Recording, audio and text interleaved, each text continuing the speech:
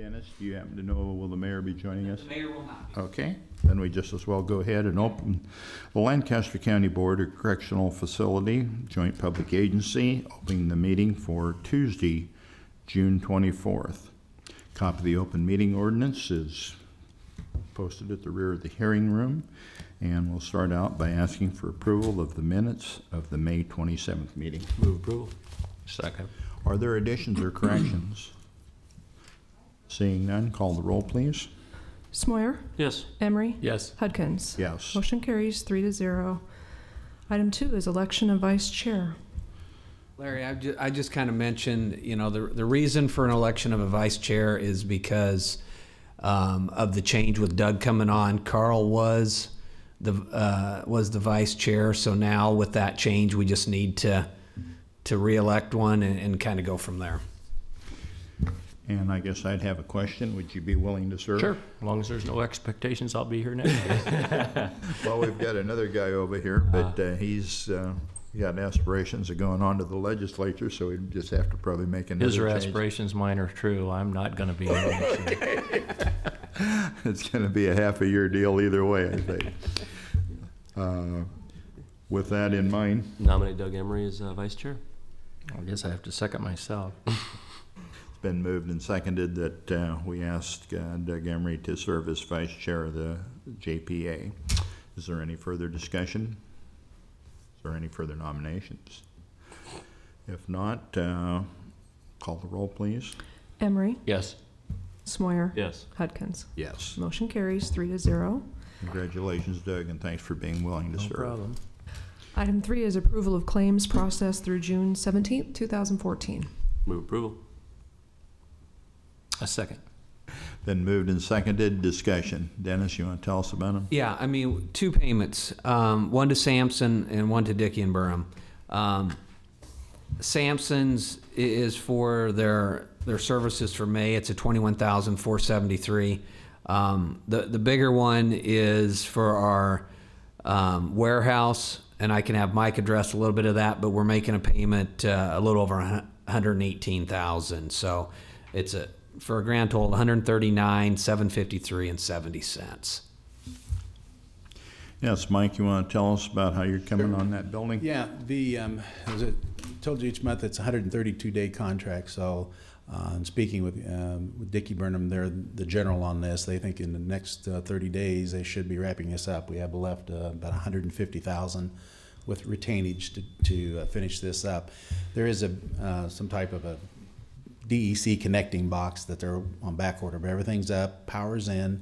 Uh, NIFCO's working on the sprinkler system, and uh, we did a walkthrough uh, last Friday morning. So uh, that's coming up fairly well. We'd like to be able to get in there and start organizing it because that is where all, the- if you remember, that's where everything is being stored for the back stock for the facility because we cut the building size-wise, the jail size, so we could use, you know, more, less expensive metal building, so to speak, to do storage. So that'll be kind of our link back to the building. Plus, we have approximately 25 acres of grounds that we'll be taking care of, mowing and things. We take over that January 23rd as this contract uh, expires with Atlanta Hall. So then next year, as we walk, talk to Dennis about for budget, we'll be taking over the ground. So part of that building is kind of the outside shop that Kate, um, let maintenance take care of mowers, um, being able to keep flammables out there and again move that away from that. So that's been our plan. I think it's coming together now. It's just now we just want to